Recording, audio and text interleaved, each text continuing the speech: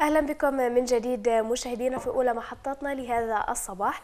يعد الاكتئاب الموسمي أحد أنواع الاكتئاب المرتبطة بالتغيرات المناخية الذي يبدأ وينتهي في نفس الأوقات من كل عام.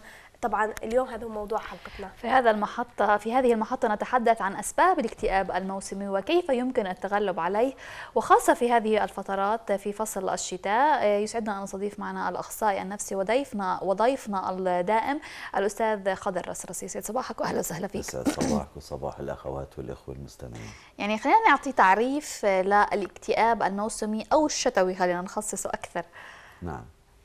يعني هو أحد أنواع الاكتئاب الأساسية وكثيرا ما يتم تصنيفه على أنه هو يعني اكتئاب له علاقة بالحالة العاطفية اللي بتكون موجودة عند الإنسان. ومثل ما حضرتك ذكرتي غالبا هو اكتئاب موسمي يحصل في فصل الشتاء أو فصل الخريف ولكن في بلدان أخرى حصل في فصل الربيع أيضا وفصل الصيف ولكن طبعا بدرجات أبسط بكثير.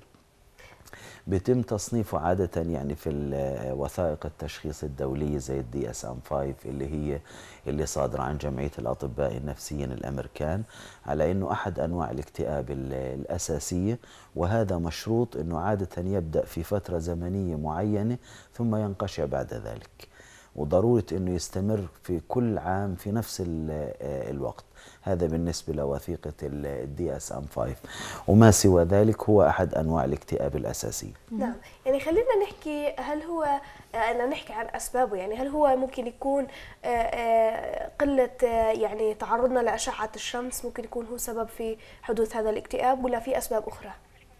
يعني هو هذا أحد الأسباب الأساسية أو على الأقل أحد الأسباب اللي يؤمن بها كثير يعني من المختصين في هذا المجال. طبعا يوجد أسباب أخرى جزء منها يعني هو وراثي وله علاقة بالتنشئة أيضا. فإذا نشأ الطفل في بيت اللي كانت الأم دائما بيحصل معها هذا الشيء أو الأب يعني فعلى الأغلب أنه الأبناء كمان أو أحدهما على الأقل يعني راح يتقفى أثر والديه في هذا الاضطراب. البعض اعتبر إنه له علاقة مباشرة بتعاقب الليل والنهار يعني اللي إحنا بنسميها يعني الساعة البيولوجية اللي بتكون موجودة عند الإنسان السرمدية باللغة العربية. وإنه عادة يعني اللي اعتاد مثلا على نشاط وهمة ضمن فترة زمنية أطول في فصل الصيف بتقل في فصل الشتاء فبالتالي بدخل في نوع من أنواع الاكتئاب. المختصين اللي لهم وجهة نظر يعني الميالين للتفسير العضوي شافوا إنه له أسباب أخرى لها علاقة يعني ببعض الاضطراب اللي يصيب النظام الهرموني اللي عند الإنسان. عندنا هرمونين أساسيات واحد منها هرمون السيروتونين اللي غالبا له علاقة بالهمة والنشاط واللي مجازا يعني يسمى هرمون السعادة. وعندنا هرمون آخر اللي هو ميلاتونين اللي عادة يعني ينشط وتزداد يعني غزارة إنتاجه في الجسم في الأوقات اللي بيكون فيها يعني ساعات ما غير الضياء اللي هي العتمة والظلام. فإذا طبعا يعني خلال فصل الشتاء يعني مثل ما حضرتك بتعرفي بتكون ساعات النهار في العادة أقل يعني ونسبة الضوء والنور بتكون أقل فبالتالي بتكون فرصة لهذا الهرمون حتى يتم إفرازه في الجسم يعني بكميات أكبر. ويعني هذا الهرمون يسمى هرمون النوم. حتى بعض الأطباء بيوصفوه أحيانا لمساعدة الأشخاص اللي عندهم مشاكل في النوم. في كمان نعم. بيحكوا إنه هذا الهرمون أو أو هذا الهرمون هو مفيد كمان لإنه يعني النوم الصحي لازم يكون نوم بدون إضاءة عشان الهرمون هذا يفرز في الجسم. شو فائدته يعني صحيح. هو طبعا مفيد جدا لجسم الإنسان وله علاقة بعدد ساعات النوم اللي بيحتاجها الجسم حتى يزاول الإنسان يعني نشاطه وهمته في اليوم التالي بصورة حيوية وكالمعتاد يعني. وهذا طبعا شيء ضروري للإنسان.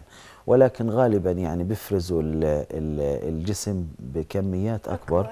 لما بترافق مع يعني دوام أو أو أو لما بتطول ساعات الظلم والعتمة. ومثل ما ذكرنا إنه بعض الأطباء حتى نظرا لامكانيه إنتاج هذا الهرمون كيميائيا. انه بوصفوا على شكل عقاقير للأشخاص اللي عندهم مشاكل في النوم, آه في النوم.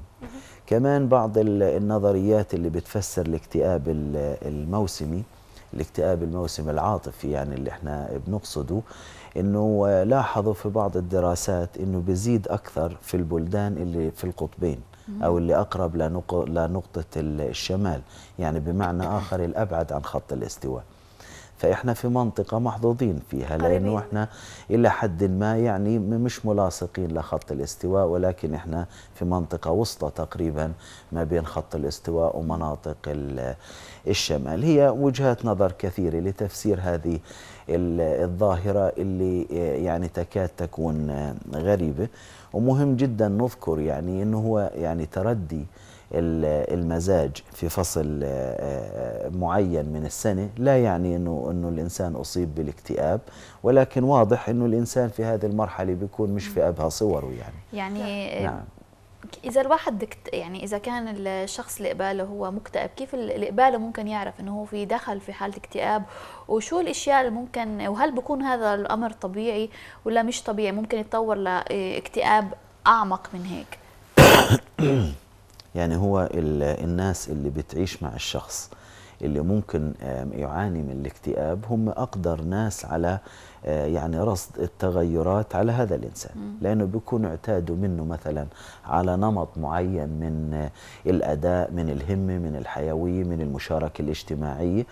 لما يعني هاي الأشياء بتتلاشى بيبدوا الناس يلاحظوا أنه هذا الشخص يعني مش في القوام العام مش في الصورة اللي تعودنا إن نشوفه فيها. فغالبا يعني الأهل أو اللي بيعيشوا مع هذا الشخص ممكن يلاحظوا هذه الأشياء يعني بسهولة أو إذا كان مثلا يعني زملاء وقرناء العمل ممكن يلاحظوها أيضا على زميل من زملائهم أنه مش هاي الصورة اللي تعودوا يشوفوا عليها. الآن يعني معرفة هذا الشخص سنوات أطول بتخلي اللي, اللي حواليه يعتقدوا إنه دائما هذا الشخص مزاجه بيكون سيء مثلا في فصل آه، معين. وطبعا من خلال بعض الأعراض يعني هي بعض الأعراض اللي بتظهر على الأشخاص اللي بيكون عندهم اكتئاب موسمي بتكون من من يعني من تلقاء نفسها توحي إنه هذا الشخص مكتئب. لأنه عادة بيكون ميال للحزن أكثر. حتى الاسم غريب يعني إنه الاختصار هو يعني seasonal affective disorder اللي بسموها SAD. و SAD معناها حزين يعني حتى الاختصار له علاقة بالتسمية أيضا. نعم. فبيكون المزاج حزين بتكون الهمة آه، فاترة بيكون الإنسان يعني, يعني عنده قابلية للإحساس بالتعب أكثر من الفصول الأخرى طب بهاي نعم. بهاي الحالة لما آه، الشخص بحس حاله إنه دخل في هاي الحالة من الاكتئاب في هذا الموسم خلينا نحكي نتيجة الأسباب اللي ذكرناها شو ممكن يعمل لحتى إنه يا إما يخفف عن حاله أو يتخلص من هاي من حالة الاكتئاب اللي دخل فيها. نعم. يعني ممكن الإنسان ما يعرف في البداية إنه هو مصاب بهذا النوع من الاكتئاب. ولكن آه، لما هذا النوع من الاكتئاب بترافق معه في كل سنة بتكرر على مدار عدة سنوات بيبدأ الإنسان يشعر من تلقاء نفسه إنه غالبا يعني وضعه بيكونش في في أحسن حال في هذا الفصل بالذات زي فصل الشتاء وفصل الخريف اللي هي النسبة العظمى يعني من الأشخاص اللي تصاب بهذا المرض بتكون في فصل الخريف وفصل آه، الشتاء. طبعا الشخص اللي بيشعر إنه يعني آه، في في هذا الفصل يصاب بهذا المرض المفروض إنه يقوم بمجموعة من السلوكيات أو التصرفات أو طلب آه، المساعدة اللي يخلي هذا الفصل ينقضي آه، بأقل ضرر ممكن أو بأقل مستوى من الشقاء آه، له وللناس اللي موجودين في محيطه لأنه بتظهر أعراض وممكن تكون مؤذية للشخص وللناس الموجودين حواليه. زي الشعور بالحزن مثلا وفتور الهمة آه، واحيانا فقدان يعني فقدان الشهية للي يصابوا بهذا الاضطراب في فصل الصيف أو الربيع وزيادة الشهية وخصوصا الكربوهيدرات السكريات يعني في هذا الفصل بصير عنده رغبة أكثر يعني لتناول هذا النوع من الطعام فزيادة الشهية زيادة ساعات النوم والخمول وأحيانا كمان الإحجام عن كل المناسبات الاجتماعية يعني بيشعر إنه آه إنه منيح إنه بالضبط منيح إنه الجو هيك علشان ما حد يزور حدا يعني آه. آه. نعم طيب كيف ممكن هذا الاكتئاب الموسمي آه، ممكن يأثر على علاقة الشخص في الأشخاص الآخرين؟ يعني لما الإنسان بيكون بهذا المستوى من الجمود وبهذا المستوى من العزلة طبعا ممكن يخسر بعض آه، أصدقائه. ممكن مثلا أنه يبث حالة من الإحباط أو حالة من الحزن داخل البيت يعني. فبالتالي كل الآخرين بدهم يتأثروا خصوصا إذا كان هذا الشخص هو باعث الطاقة الإيجابي الأساسي في البيت. يعني مرات في البيت بيكون شخص اللي كل العائلة بترتكز عليه. هو عادة بيعطيهم الطاقة والحيوية صحيح. والنشاط فإذا هو كان يعني أصيب بهذا الاضطراب معناها كل العائلة الآن يعني بتعاني معه آه، بطريقة معينة. كمان من الأضرار تاعته أنه تراجع الأداء يعني حتى المستوى الاقتصادي بتأثر. لأنه بعضهم في هذا الفصل بقل نشاطه وحيويته ومثابرته آه، في العمل فبالتالي بده يعكس سلبا على وضعه الاجتماعي والاقتصادي والعاطفي والعائلي يعني بالدرجة الأولى. نعم. كمان خلينا نحكي يعني ذكرنا عن الاكتئاب الموسمي اللي بيحدث بفصول معينة زي فصل الخريف والشتاء ولكن في اكتئاب ممكن يكون مش موسمي. آه، وما شو مش عارفة إيش علاقته مثلا خلينا نحكي كالمرأة الكبيرة شوي بالعمر اللي بعد ما تنقطع عليها دورة شهرية ممكن إنها توصل لمرحلة يصير عندها اكتئاب. شو علاقته هذا ب يعني بالمرأة بهاي الفترة بالعمر؟ يعني هو الاكتئاب من الاضطرابات الأكثر انتشارا. وحتى مراجعة الأدبيات توحي بأنه من أعقد الاضطرابات النفسية لأنه غالبا الاكتئاب قد يكون على ضخامته هو أحد أعراض مرض آخر. يعني الشخص اللي عنده فصام أحيانا تظهر عليه علامات الاكتئاب. الشخص اللي عنده مثلا آه، كرب ما بعد الصدمة أو غيره غالبا تظهر عليهم أعراض الاكتئاب وحتى يعالجوا بمضادات الاكتئاب. فالاكتئاب نظرا لتشعبه انقسم لعدة أجزاء.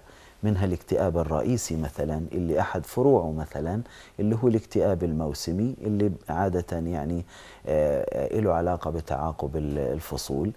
كمان في اكتئاب يعني أو أو خلينا نحكي تدني في الحالة المزاجية عند الستات لما بتبدأ تفقد خصوبتها يعني في سن معين بعد ال 48 أو بعد ال 50 سنة. وفي اكتئاب خاص يعني بكبار السن. الأشخاص اللي بيكونوا مثلا بعد عمر السبعين سنة غالبا إنه بيبدأ يشعر إنه فقد أهميته في الحياة مثلا وإنه الدور تبعه بقوم فيه يعني أشخاص كثر. وهم استغنوا عن بالضبط. آه،, آه وكمان يعني غالبا بيكونوا غير منتجين من ناحية اقتصادية. طبعا بيكفي اللي عملوه في حياتهم السابقة ولكن الإنسان بعز عليه يعني أنه يتوقف في أي مرحلة معينة من مراحل ممكن يكون الحياة. لسه قادر إنه. بالضبط. إذا كان يشعر بالقدرة الجسدية والعقلية بيكون الحال أصعب طبعا لأنه لا زال بيشعر أنه قادر يساهم آه لربما بمستوى حتى أفضل من اللي أصغر منه سنا يعني. فطبعا هذا الإحساس بالتحييد أو فقدان الدور المركزي في الحياة بدها تكون له آه، ردود فعل على سلوكيات وعلى تفكير هذا الشخص وبالتالي ممكن تقود لحالة من تدني المزاج اللي إذا تفاقمت ممكن تصل لمستوى من الاكتئاب. كمان شيء آخر له علاقة يعني بالسيدات مدام كان هذا سؤال حضرتك إنه غالبا آه، يعني أو في نوع من الاكتئاب اللي له علاقة بالولادة. يعني بعض الستات مثلا ممكن يصير عندها اكتئاب ما بعد الولادة وهذا له أعراضه أيضا. فبالتالي آه لربما يعني أنه يكون بعض أنواع الاكتئاب لها علاقة بالجنس يعني تصيب النساء أكثر ما تصيب الذكور ولكن في المجمل العام هو اضطراب يعاني منه فئات كبيرة في المجتمع. يعني آه، في كثير من الناس زي ما حكيت إنه هذا بيكون آه، في فصل الشتاء بصير في زيادة في الشهية وممكن يؤدي إلى آه، زيادة في الوزن بالتالي بتزيد حالة الاكتئاب عندهم لهدول نعم. الناس نعم. وهي كمان عوامل تساعد على الاكتئاب هل في عوامل ثانية ممكن الظروف الاقتصادية أو الاجتماعية اللي حوالين الشخص كمان ممكن تزيد غير خلينا نحكي إنه تغير المزاج وتأثير الشمس كمان على الشخص بالضبط. يعني هو فعلا زي كرة الثلج يعني إذا بدأت في منطقة معينة ممكن تتفاقم ويصير الحجم تبعها أكبر. فإذا بدأ يعني آه، تظهر أعراض مثلا الاكتئاب الموسمي اللي هي تفاقم الشهية وزيادة الوزن إذا زاد الوزن بده يزيد الحالة المزاجية سوء طبعا خصوصا للأشخاص اللي بيرغبوش في زيادة آه، وزنهم أو اللي بيعتقدوا أنه هذا أفقدهم جزء من رشاقتهم أو جمالهم مثلا يعني. كمان آه، آه، يعني الابتعاد عن الحياة الاجتماعية وقلة المحفزات والمثيرات والمنبهات الإيجابية في حياتهم الاجتماعية كمان بدها تزيد الوضع. سوء طبعا إذا كان الشخص في عنده مشاكل اقتصادية معناها تهيأت الفرصة لتطور رداءة الحالة المزاجية لمرض الآن اللي هو الاكتئاب. وكل ما يعني إن وجدت ظروف آه، يعني غير إيجابية في حياة الشخص معناها بتحفز ظهور المرض أكثر ما تحفز ظهور حالة التعافي اللي عنده. نعم طب خلينا نحكي دكتور يعني ليش الناس ممكن يكون عندهم اعتقاد هلا إحنا فصل الخريف والشتاء إنه أي حدا اكتئب لأنه هو اكتئاب موسمي. ممكن يكون مش اكتئاب موسمي بالصدفه حدث بهذا الفصل فبالتالي هو ممكن يكون مش اكتئاب موسمي زي ما ذكرنا. ممكن يكون اكتئاب من نوع آخر زي ما ذكرت فروعه كثيره ولكن صدفت إنه اجى بهذا الفصل. يعني ممكن يكون أنا مثلا آه، بعملي ممكن آه، يعني خلينا نحكي بيئة العمل كانت آه، مش مناسبة أو مش محفزة أو أو أحبطتني نوعا ما فأنا صار عندي اكتئاب فأنا صرت أحكي آه لأنه إحنا بفصل الشتاء فأنا عندي هذا الاكتئاب ولكن يكون ممكن يكون سبب ثاني فكيف الواحد من نفسه ممكن يشعر أو يعرف شو هي أسباب الاكتئاب؟ أحسنتي. يعني هو اولا تعاقب المرض مع تعاقب الفصول هو أحد أهم شروط آه، تشخيص الاكتئاب الموسمي. يعني إذا حصل لمرة واحدة لا نستطيع أن نسميه اكتئاب موسمي. إذا تكرر على مدار ثلاث سنوات فأكثر فواضح أنه هذا مؤشر على أنه شيء ما بيعاني منه هذا الشخص في هذا الفصل. وشرط إنه كل آه، فصل يصير معه هذا الاكتئاب. بالضبط. مش إنه شهر بنفس سنة أو بالضبط. وبنفس الدرجة من السوء أو أسوأ. مش أفضل. إنه عادة بيكون مستوى معين يعني من السوء اللي غالبا ممكن يزداد مع السنوات مش يقل يعني. الشرط الآخر أنه تتلاشى الأعراض بمجرد انتهاء الفصل اللي بنتحدث عنه. هاي شروط أساسية علشان يتم اعتماده على أنه حالة من الاكتئاب الموسمي من المهم جدا أنه نعرف أنه آه الإنسان يعني في أي فصل من فصول السنة ممكن يعاني من أزمة معينة في حياته إما أزمة لها علاقة بالحياة الاجتماعية أو الاقتصادية أو الحالة العاطفية أو مشاكل الحياة ومشاكل الحياة كثيرة عادة. فإذا ترافقت ضغوطات معينة أو مشاكل معينة في أحد الفصول من السنة من الضروري ننتبه يعني إنه هذا مش حتما هو اكتئاب موسمي ولكن يعني آه، يعني حالة مزاجية سيئة لها علاقة بظروف محيطة كثيرة. فهذا يعني من المهم الانتباه زوال المشكلة نفسها. بالضبط. اللي اللي ما بيكون لها علاقة بزوال الفصل نفسه يعني لها علاقة بزوال المشكلة أو زوال أسباب المشكلة.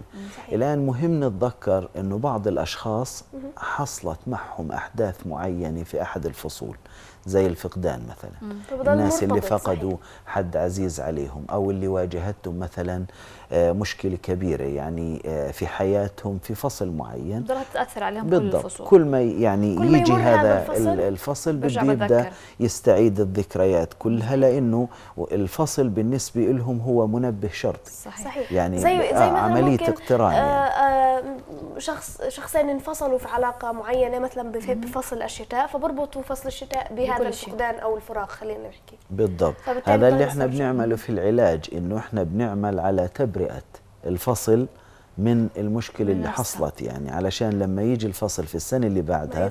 يستقبلوا بجماله مش صحيح. بالح... مش بالذكريات المؤلمة اللي حصلت فيه يعني أستاذ خضر بالنسبة للاكتئاب كمان إنه من مضاعفاته في كثير من الأشخاص يعني آه، بيوصلوا لاكتئاب شديد وعميق ما بيقدروا يطلعوا منه بالرغم من كل العلاجات.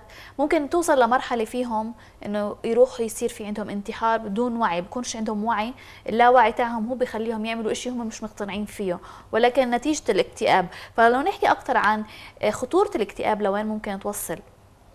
نعم يعني هو آه، الاكتئاب غالبا آه، يعني لا تنتهي لا ينتهي بالانتحار. الانتحار درجة العادة أنه نعتقد أنه نسبة الانتحار أعلى ما تكون عند مرضى الاكتئاب.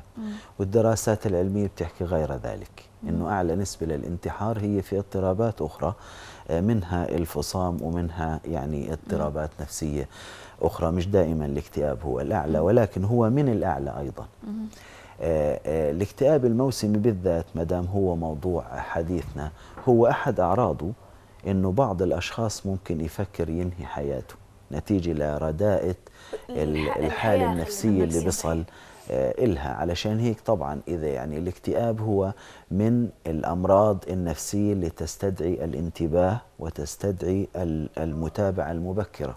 يعني هو مش من الأمراض اللي المفروض نسكت عنها. ونستنى نشوف كيف بصير الوضع على مدار السنوات ال- اللاحقة. وإنما من الاضطرابات اللي يستحسن أنه يتم التعامل معها بصورة مباشرة وبصورة مبكرة. يعني إذا شعر الشخص مثلا أنه هو مش في الحالة الطبيعية تاعته وإنه صار عنده نظرة سوداوية لنفسه وللحياة المفروض إنه يبحث عن مصادر ال- ال- المساعدة بصورة مبكرة. الانتحار طبعا يعني هو يعني آه، آه، الحالات اللي ممكن تحصل في كل أنواع الاكتئاب بما فيها هذا آه، الاكتئاب. فالأصل إنه قبل ما نصل لهذه ال- آه، المرحلة ننتبه إنه بيبدأ الشخص يشعر مثلا بكراهية الحياة. آه، آه، بيكونش بالنسبة له يعني دعوة آه، محببة مش طايق إنه الله يطول عمرك حدا. يعني مم. يعني لما حدا بيحكي له الله يطول عمرك بيعتبر إنه هاي الدعوة ضده مش لصالحه يعني لأنه هو غير مقبل على الحياة لما بيبدأ الإنسان ينشغل في ما بعد الموت وبغادر الاهتمام بال ال- يعني الأنشطة والمهام المطلوبة منه في حياته معناها هذا الإنسان بدأ الآن يعني آه، يدير ظهره للحياة وبالتالي قل اهتمامه فيها. كل هاي أعراض اوليه اللي المفروض إنه تستدعي تدخل يعني. نعم يعني خلينا نحكي كمان ملاحظة أخيرة قبل ما ننهي هاي الفقرة. إنه مثلا ممكن أنا أكون دخلت في مرحلة اكتئاب وأنا عارفة إني أنا عارفة سبب هذا الاكتئاب خلينا نحكي و... ولكن خلص دخلت في هاي الحالة من الاكتئاب. ولكن إذا شفت مثلا ديالا صديقتي وشفتها مكتئبة خلينا الاكتئاب. فبنسى حالي وبصير بدي آه، أخرجها من حالة الاكتئاب اللي هي فيها وأقنعها إنه لا عادي وما في مشاكل مع إني أنا ممكن أكون مكتئبة زيها ولكن بدي أخرجها من الاكتئاب اللي هي فيه. فممكن بهاي الحالة أنا ببطل مكتئبة. ما بعرف ليش ممكن إذا بتصير هاي طبيعية ولا نعم. بس عندي. لا هي هذه طبيعية يعني من الدرجة الأولى وهذا بقودنا لموضوع آخر. بدك تعطيني شوية وقت أحكي عنه يعني. إنه إحدى ال- النظريات نظريات العلاج الجماعي إنه نجمع الأشخاص اللي عندهم مشاكل نفسية, مع. بعض لأنه كل واحد فيهم قادر إنه يشوف في عيون الآخر الأشياء اللي ممكن ما يشوفوها حتى المختصين في هذا ال- المجال. وفعلا المكتئب لما بيبدأ يساعد في شخص مكتئب آخر هو بيقدم له اللي بيتمنى حدا يقدمه له فبالتالي بيساعد هذا البني آدم مثلا أنه آه، تكون نظرته متوازنة أكثر آه، للحياة أنه يشوف الأشياء الجميلة فيها اللي هو مش قادر يشوفها نفسه. بس هيك فإذا حاله، شعر أحسنتي. إذا شعر أنه كلماته يعني بلغت آه، مستوى إيجابي في الشخص الآخر بيبدأ يشعر بقيمة الكلمات اللي هو ذكرها للآخرين. وبعدين بتذكر إنه الصدقة تبدأ في البيت. فبيبدأ الآن الأش... النصائح اللي. قدمها للآخرين. وشاف إنه أثرت فيهم وساعدتهم وأعطتهم دفعة معنوية عالية. بيبدأ الآن يعيد التفكير فيها كأنه فحصها في الأول معهم. والآن أيقن إنها ممكن تساعد. فبيبدأ يستثمرها أو بيبدأ يطبقها آه، في حياته. وهذا ليس في الاكتئاب فقط. كثير من الامراض النفسيه بنحب ندمجهم إحنا مع بعض يعني وبنعمل معهم نوع من العلاج الجماعي يعني. بس في وغالبا بتكون قدرتهم على المساعده يعني مبهره بس ممكن أستاذ خضر يعني في كثير من الناس لساتهم عندهم آه، الو- الو- الو- الو- الوسم انه ما بدهم آه، يعرف حدا مشكلتهم انه بحسوا نحكي إنه هم بيعتبروا إنه المرض النفسي هو آه، يعني, يعني وسمة عار خلينا نحكي بالضبط. انه آه. إنه أنا مش يي مجنون. أنا بالضبط إنه يي أنا رايح عند دكتور نفسي معناته أنا راح الناس تفكر في شيء إنه معي شيء بصيروا يبتعدوا عني فبصير عندهم في ناس كثير ممكن لهلأ إنه ممكن خفت هاي الظاهرة ولكن لساتها موجودة. إنه يكونوا متخفيين في إشياء معينة يلبسوا إشياء معينة قبل ما يروحوا على الدكتور النفسي عشان حتى إذا لاحظوه إنه ما يعرفوهوش إنه هو على طول يعني. لأنه بكون خايف حدا يعرف إنه إيه، خصوصا إذا كان قدام الناس إنه هو كثير إنسان طبيعي ولكن لما يرجع على بيته وعلى داخله يحكي مع ذاته بيكون هو مكتئب بس للناس هو ما ببين إنه هو مكتئب. نعم يعني هذا صحيح هذا موجود آه، في مجتمعنا ولربما في مجتمعات أخرى أيضا. وهذا مشكلة اللي هي الوصمة ال- المرتبطة بالمرض النفسي. يعني الناس تتحدث عن أي مرض آخر في المواصلات العامة. إنه عنده سكري أو عنده ضغط. ولكن لما بنصل للحديث عن الأمراض النفسية بيبدأ الآن اللي هو التخفي وأحيانا المعاناة بصمت. وهذا كله ملوش مبرر. يعني المفروض إنه الإنسان الحياة كثير ثمينة. وإنه عشان نشعر يعني بقيمة الحياة ونشعر بالسعادة في الحياة هو ليس فقط العافية الصحية الجسدية ولكن العافية النفسية صحيح. أيضا. فمهم الناس تعرف إنه آه، يعني آه، إذا كان بيعاني من شيء معين بدل ما يعني يحمل نفسه معاناة وشقاء هو في غنى عنها. بإمكانه يراجع مختص مثلا أو مرشد نفسي أو على الأقل يفصح عنها لأصدقائه. وبالتالي آه، بتخلص من مشكلة هو مش مضطر ابدا إنه أصلا يعاني ال- منها ال- فترة ال- طويلة. ال- الإشي النفسي اللي بيكون عند الإنسان بينعكس على المرض الصحي يعني مثلا الجلطات الزعل يؤدي إلى الجلطة أو إلى ارتفاع ضغط الدم. ففي كثير من المسببات النفسية هي تؤدي إلى أمراض آه، صحية. فبالتالي المرض النفسي هو زي زي أهميته زي يعني معالجته زي مع- معالجة المرض أي مرض صحي ثاني هذا صحيح. وهذه يعني نظرية كاملة في في الصحة النفسية اللي هي body mind dualism الازدواجية اللي ما بين الجسم وما بين ال- العقل. لما الإنسان بتكون حالته النفسية آه، سيئة غالبا الحالة الجسدية بدها تتأثر منها مستوى التنفس اللي عنده ال- الألام الجسدية الأخرى خصوصا الأم ال- ال- ال- المعوية. ولما الحالة الجسدية بتكون سيئة كمان بدها تتأثر الحالة النفسية. هذا يعني مؤكد. نعم. نعم. يعني يعني دكتور خضر رسرس أخصائي نفسي نشكرك كثير على هاي المعلومات وعلى هاي الفقرة. نتمنى الكل يكون استفاد من هاي النصائح. شكرا جزيلا لكم دائما. ننتقل مشاهدينا لفاصل وبعدها مكملين ابقوا معنا